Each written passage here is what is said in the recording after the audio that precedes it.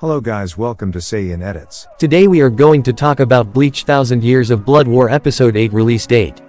So Episode 8 release date is the 28th of November and for time. Please check the next slide.